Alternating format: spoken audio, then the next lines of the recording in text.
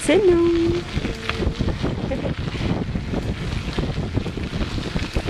Alors tu vois, s'il y a un an, on m'aurait dit que je serais sur un vélo avec une caméra en train de filmer un truc sur le côté.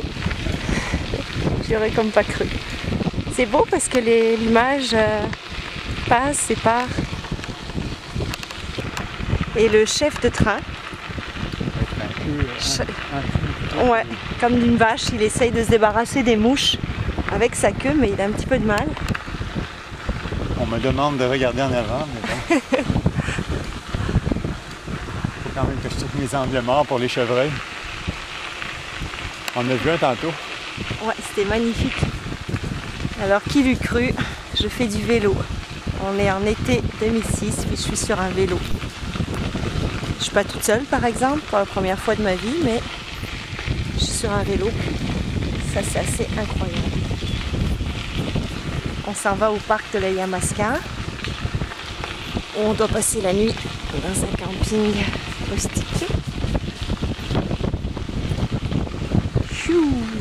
C'est beau. Je sais pas s'il le sait ce que ça me fait de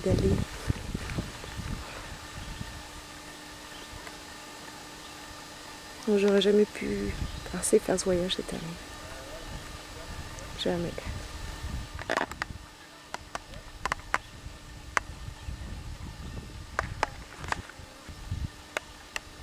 Alors là, il va me dire si mon pédalage vaut mon poids. Réponse à l'instant. Il est malade. Il est malade ce mec.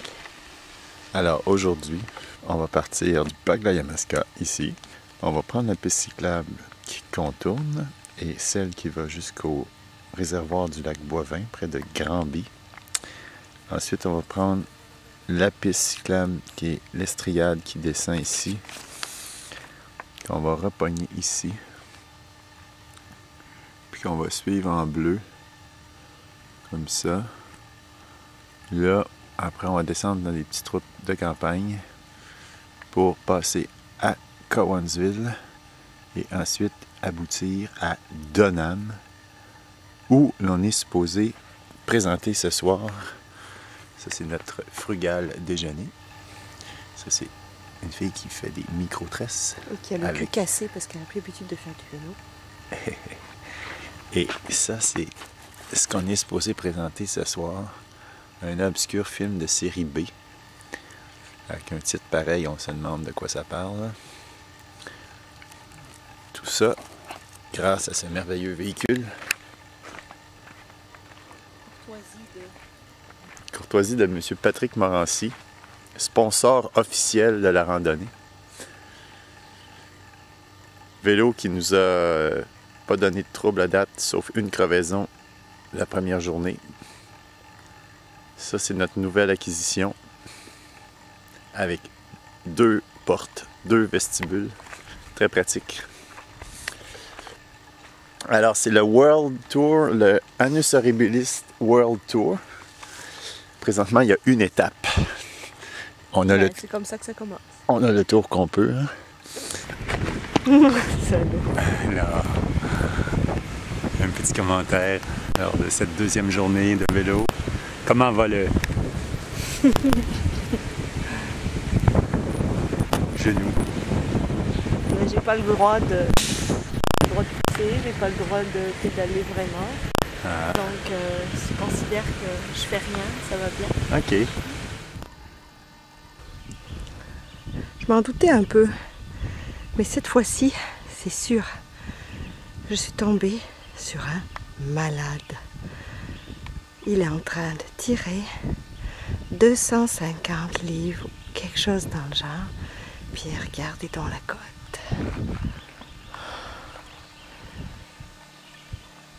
c'est genre 13%. Hein. On nous avait dit qu'il y avait un petit lac en bas, mais on n'a même pas le courage d'y aller. On est mort. Mais alors, mort. Et il sourit. Vous avez vu comme il sourit?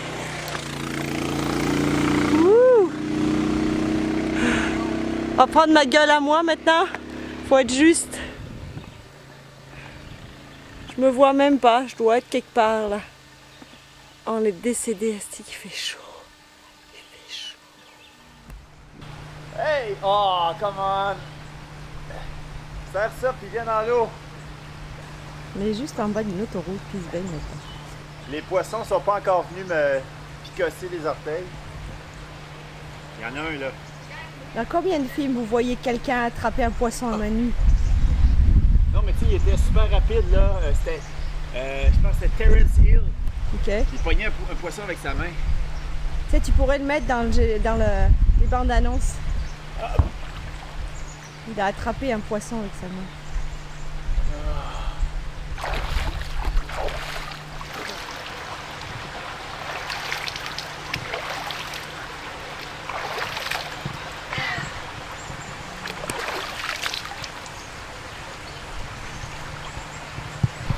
Combien de lettres est publié en général? Sur le nombre qu'on leur envoie? Une sur 15, une sur 20 Peu de chance. Ça prend quasiment des menaces pour qu'ils publient. Ouais, t'en as déjà envoyé d'ailleurs. Oui, puis ça prend de faire un petit rappel à José Boileau. Puis elle avait passé une lettre qui, euh, qui le décré- discréditait, puis elle n'avait pas passé de réponse. Donc j'avais réécrit, puis là, elle a dû se sentir insultée dans son intégrité. Et elle a passé la lettre. T'es allé à la défense de Richard Bergeron. euh, Ouais, il- je sais pas ce qu'il m'a pogné. Impressionnant. Non, on n'aurait pas dit ça il y a quelques temps. Non, ça n'a rien à voir avec euh, ce dont on parle souvent. C'est juste que j'aime pas ça. euh, j'aime pas ça les autodafés. J'aime pas ça que tout le monde se mette contre quelqu'un d'autre. Puis, comme tu as vu pendant la Coupe du Monde, euh, je suis toujours du côté des losers.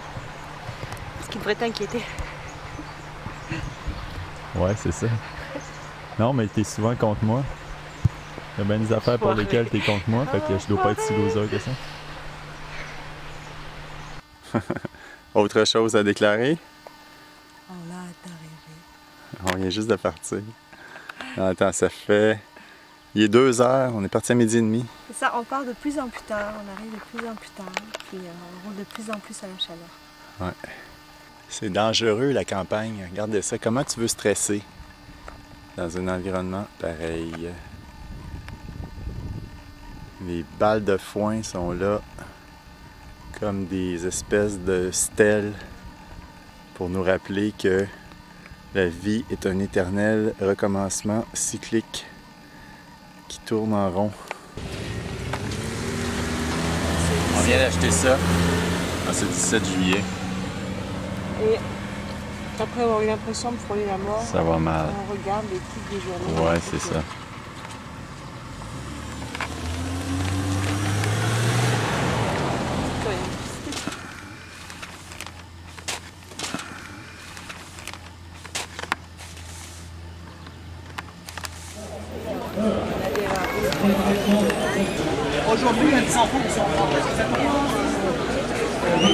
soleil en pleine face, les morts de peuple les place. C'est quoi, dis-moi, c'est quoi la guerre C'est juste un meurtre, un million de fois. Un tueur qui fait pleurer sa mère. Montréal, le.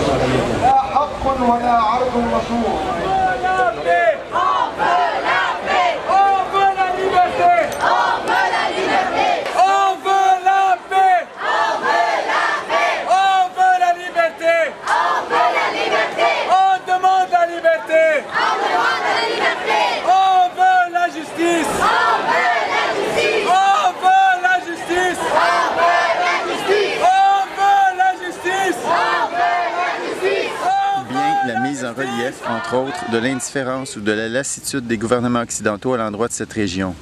La feuille de route, C'est pas de la lassitude, c'est de la lâcheté. la résolution 1559 concernant le Liban demeure à l'état de vœu pieux. À l'image d'une figure chère aux experts en géopolitique, le Proche-Orient est un millefeuille qui est en train d'imploser, et ce, parce qu'il déborde de religiosité fanatique. Ah, Arrête de filmer ça, il m'énerve trop là. Ce ne sont que des guerres de religion. Voilà. Euh, l'ONU aux États-Unis, ça marche pas. Déjà à la base, ça marche pas. Eux, ils sanctionneront jamais Israël. Puis l'Iran, il a bien raison de trouver des alliés parce qu'il sait déjà qu'il va se faire baiser. dans le devoir, il parle encore de religieuse. De quoi? Religieuse. Religiosité fanatique.